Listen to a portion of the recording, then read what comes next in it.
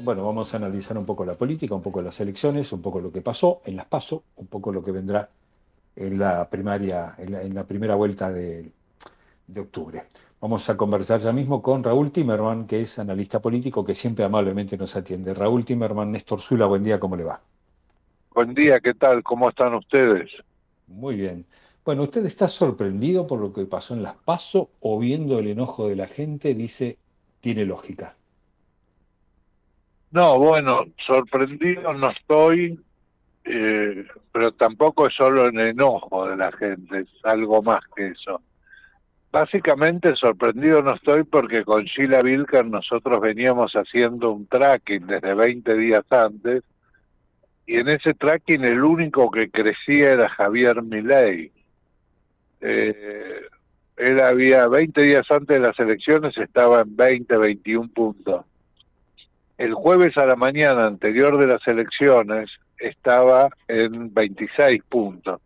Yo hice un tuit diciendo si ustedes vieran el resultado del tracking, se sorprenderían. El viernes a la mañana, antes de las elecciones, había crecido bastante y yo dije es terrible la también hice un tuit que está en los tweets es terrible, la tendencia se mantiene.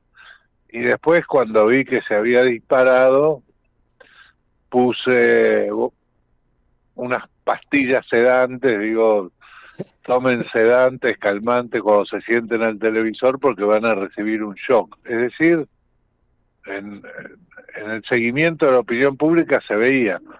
El, el aluvión se produjo, yo diría, entre el miércoles que creo que fue el asesinato de esta chica morena de 11 años, día que los canales de televisión no tenían nada para mostrar y bueno, saturaron 20 horas con ese caso. Después se produjo el asesinato del médico para robarle el coche en Morón, creo. Y después la muerte del manifestante en, con una represión policial en el obelisco esa seguidilla, digamos, disparó eh, un voto a mi ley que es el voto, digamos, de protesta más fuerte. Mi ley lo que consiguió fue robarle el cambio a Juntos por el Cambio. Es decir, uno hubiera esperado que hechos de inseguridad favorezcan a Patricia Ulrich, que es la que maneja ese tema más fuerte. Mi ley digamos, se ha manejado más con el tema de la economía y la casta, pero sin embargo se disparó alrededor de Milley. ¿Por qué se, se disparó alrededor de Milley? Básicamente porque Milley era el más visible de todos. De los que proponían algo totalmente nuevo, el que más se visibilizaba era Milley tanto por el contenido de lo que decía como las formas en lo que decía. Y generó una línea de creencia, más o menos como si hubiera sido el síganme, no los voy a defraudar de Carlos Menem. Bueno, cuasi religioso, una creencia en que bueno, ese es el profeta, ese nos va a llevar, es el Mesías, nos va a llevar a través del desierto a la tierra prometida. Claro. Algo por el estilo. Raúl, ¿y qué es lo que viene? ¿Cómo viene? ¿Cómo, cómo se acomoda? Bueno, esto, eh, la campaña, yo pienso, la campaña oficialista fue una campaña muy mala, digamos, se eligió malos conceptos. Fue una campaña más que que para las pasos fue para salir del paso, digamos. Mm, mm. No, fue una campaña que podía juntar votos y en la mm. práctica salió tercera. Eh, Patricia Burrich venía de ganarle a Horacio Rodríguez Larreta, digamos, y esa fue la realmente la elección competitiva que despertaba expectativas. Las expectativas estaban puestas. ¿Quién gana, Patricia o Horacio? Quién gana, Jorge Macri o Martín Lustó. Es decir, todas las expectativas en las pasos estaban puestas en Juntos por el Cambio. Ahora viene una etapa totalmente nueva. en la que se produce un fenómeno de mimetización entre los objetivos de Patricia Bullrich y los de Javier Milei. eh, Mauricio Macri salió esa misma noche a felicitar a Javier Milei por la elección y yo creo que Mauricio Macri se ve proyectado en Javier Milei. Hoy Javier Milei representa lo que Mauricio Macri le hubiera gustado representar en su momento, pero digamos, su gobierno fracasó porque no fue reelegido en, en, lo que se refiere a, a la aprobación de la opinión pública. Y yo creo que se proyecta ahora con Javier Milei. Creo que ahí hay una confusión de intereses entre Milei y Patricia Ulrich que me da la impresión, hoy es demasiado prematuro, de que solo uno de los dos va a entrar al balotaje, que digamos la opinión pública va a elegir a uno de los dos para que lo represente. Y el otro va a ser Sergio Massa en el caso de que haya balotaje porque hay una situación que se puede producir si se cae mucho Patricia Ulrich, y es que Javier Milei gane en primera vuelta, es decir, que se produzca una ola a favor de Milei y no, no hay que descartar ese hecho.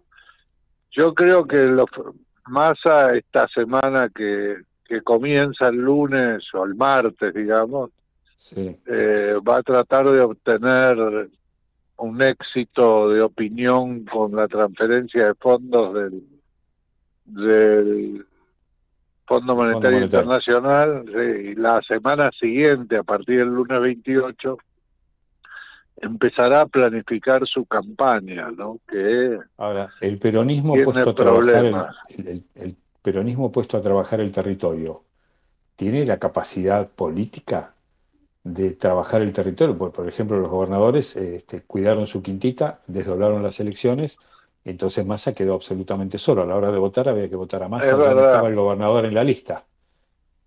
Es verdad, pero es verdad la culpa que Massa podría echarle a los gobernadores o a algunos intendentes que han promovido el corte de boleta, han entregado boletas cortadas, y le pueden contestar a Massa, sí, pero vos tampoco quisiste entregarle a Zamora tu boleta en Tigre para que Malena Galmarini sea elegida y Zamora ganó.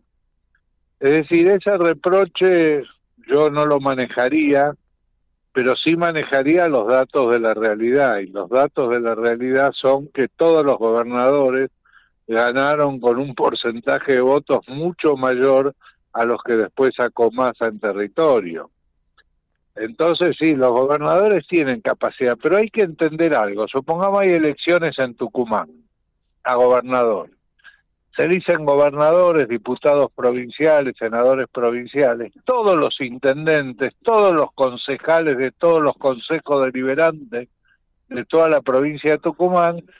Y bueno, ahí el peronismo tiene una capacidad de movilización enorme porque se juegan cada uno su puesto Ahora, pasó eso, ganaron, ya son concejales, son intendentes, son diputados, son gobernadores, hay otra elección, se va a elegir presidente y diputados provinciales.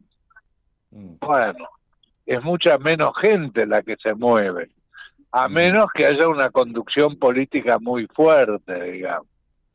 En ese caso, yo creo, por ejemplo, que si uno toma el ejemplo de la provincia de Formosa, donde el gobernador Gildo Infran ganó con el casi el 70% de los votos, y ahora hay 40, no, no recuerdo, pero alrededor de cuarenta y pico sacaron, yo creo que van a subir notablemente en la próxima elección, en, ah. en la general. ¿Por qué? Ah. Y básicamente porque mi ley dijo que va a eliminar la coparticipación.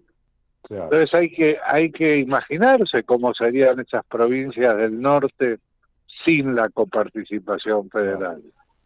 Claro, claro, claro, claro. O sea, eh, eh, está todo por verse, digamos, no.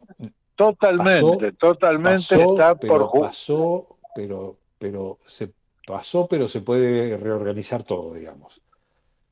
Sí, sin lugar a dudas. Ahora depende de la capacidad de reacción de los de los equipos de campaña de cada uno de los candidatos, ¿no? Exactamente, exactamente. Bueno, Raúl Timerman, analista político, muchas gracias por atendernos como siempre, muchas gracias por la claridad. ¿eh? No, al contrario, gracias a ustedes y mucho éxito con el programa. Muchas gracias, buen fin de semana, gracias Raúl, hasta luego, muchas gracias.